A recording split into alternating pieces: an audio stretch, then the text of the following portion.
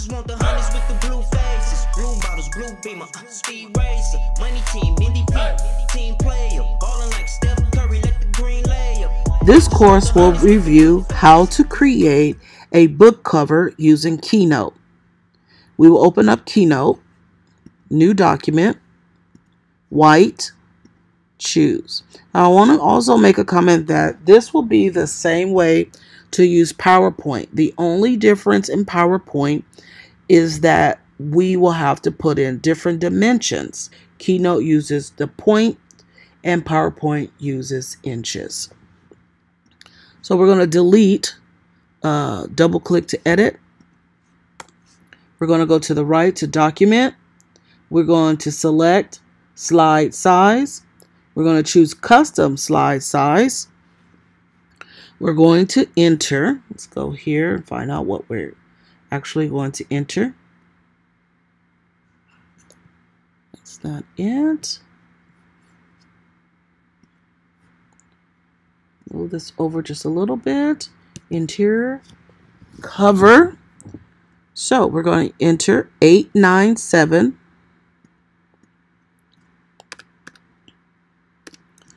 by 666. All right, so let's zoom out just a little bit. So here is the canvas for our book cover. Now, we're also going to go back to the interior cover page and we're going to slide in the 6 by 9 template, cover template. You see, it fits perfectly there. And it's 6 by 9 and it will help us determine what our front cover is going to look like and what the back part of our cover is going to look like. Mm-hmm. Now, how do you want your cover to be? So we're going to go to our internet and I have two websites that I have selected. One is called publicdomainvectors.org and the other one is called clipart, openclipart, clipart.org. All right. Now, a lot of times when doing uh, poems, you know, for me, I like to use flowers or I like to use patterns when creating something. So here we can type in flowers. Now this first line is usually Shutterstock, which cost. Uh, and it's very expensive to use Shutterstock, so we won't be using any of those. But here we're going to look at something that we might think might be nice for our book. I like these flowers. So I'm going to download. That's one look. And let's see what the other website has for flowers.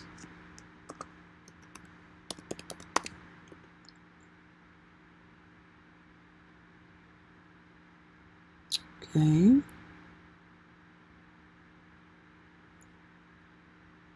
These flowers are interesting. Let's try this one. I like those. So we'll download. We want the big PNG. Okay, everything we want, we want it to be super humongous big. Okay. So that will conclude the two websites we will go to. Now, I'm going to go to my downloads. Remember, I want to know where my things go. I'm going to drag this flower. I don't know what happened here. This one didn't download like we wanted. So I'm going to drag, we'll just work with this. I'm going to drag this flower here. As you see, it covers the entire page. So we need to just uh, grab the corner, shrink it down a little bit, decide what side of the book we want it to be on. I want to let it go into the, um, just a little bit onto the back page. Do that as so. And then I'm going to put my title by selecting text. Say true. i use one line for true. And select text again. Peace. Is another line for peace. Because I'm going to be a little bit creative when it comes to these texts. So we're going to select our text.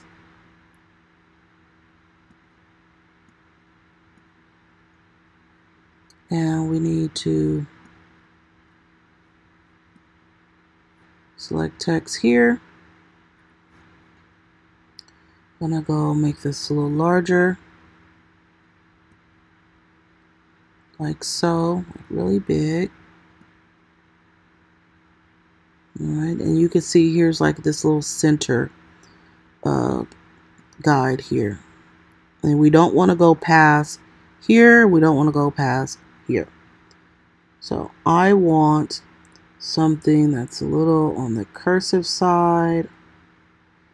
Um, let's see here.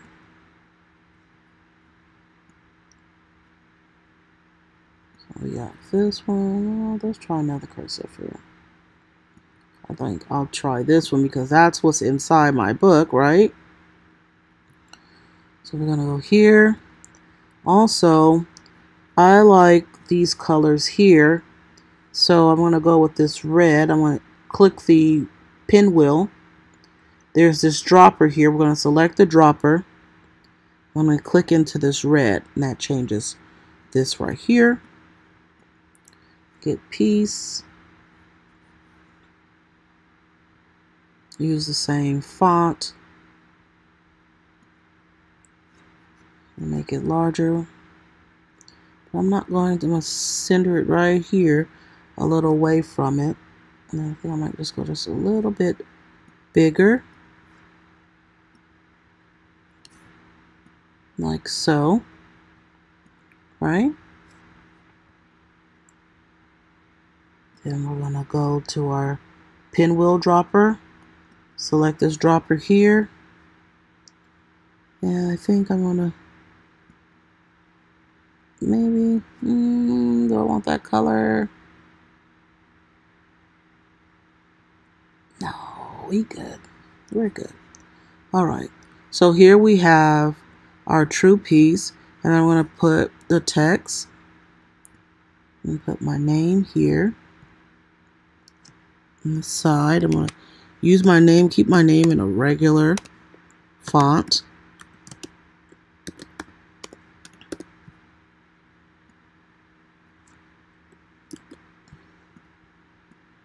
Okay, so here we are on this.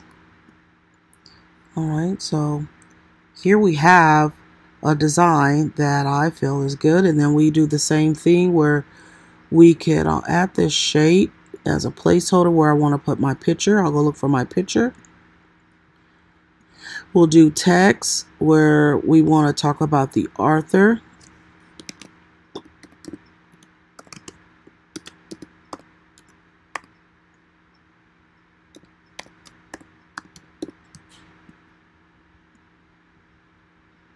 And this is just a demo. So I'm going to do something silly. I'm going to just type some stuff so we could see how that's going to look when we type the real information. All right, so that will line up right there with that. Okay. And then we can put my name either right here, right under my picture.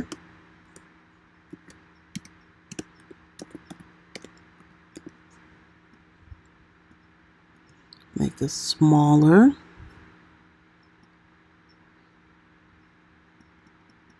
Like 12 point is perfect. And also, what I like to do is add my my title and add it to the back. So I selected both of them. I Command C or Control C and then I duplicate it and then what we're going to do is stick the title on the back of the book. So let's move everything down a bit.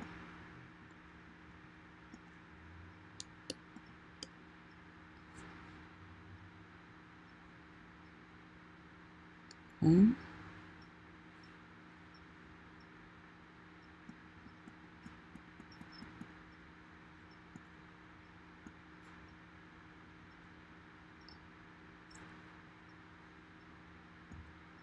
let's take that down just a little bit.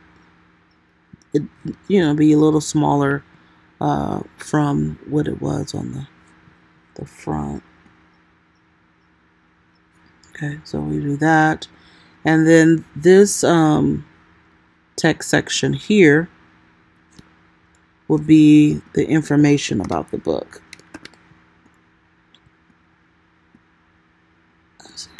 See.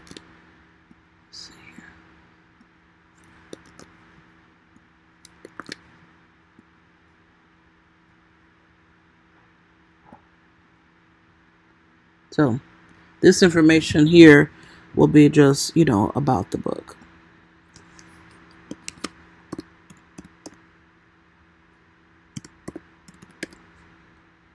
Okay. So this is what we have. Now, I don't particularly care for white cover. That's really up to the artist. So now that I know where my where everything is going to lay, I can feel free to change my background. Also, let's I want to do something else here. I'm going to add this flower to the back, I think, here. Like right here, just really small. And also you could put your publishing company right here if you want. Then I'm going to also do something a little bit more creative here. I want to add more flowers. Okay. Give it like a little fullness, if you will. Okay. I'm going to rotate it just a little bit.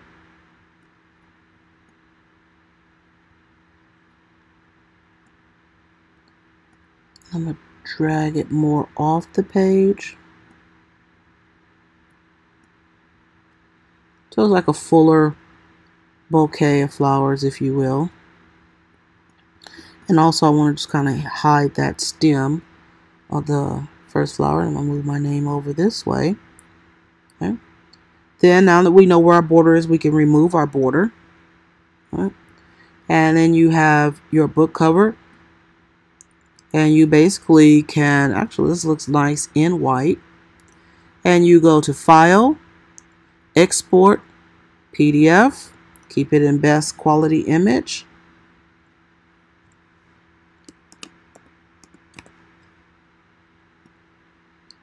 So there you have that. But I want to change the background. So you click the background. And we're going to make the background yellow. So you hit the wheel. Okay. And then we're going to go here because I want this yellow here. Oh, that's too bright. Let's see. Let's try another yellow. Yep, like that yellow better. So you can choose to do this, and then I, don't have a picture of myself, but definitely you add a picture of yourself where this box will be. You add this. I actually will want to go just a little bit larger on my title.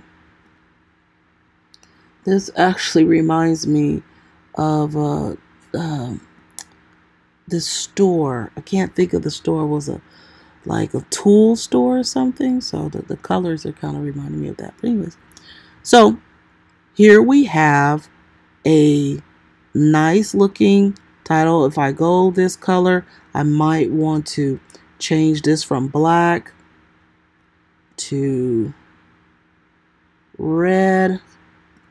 Yep. Looks like a winner to me. What do you guys think? Let's move this over so I can see it.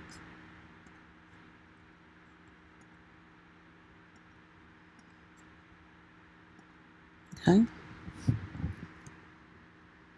So there you have it. Here's my cover. And we would save this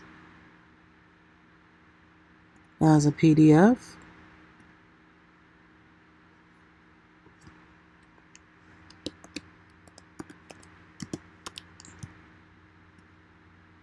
Like really simple, nice look, um, and it, it, it grabs your attention.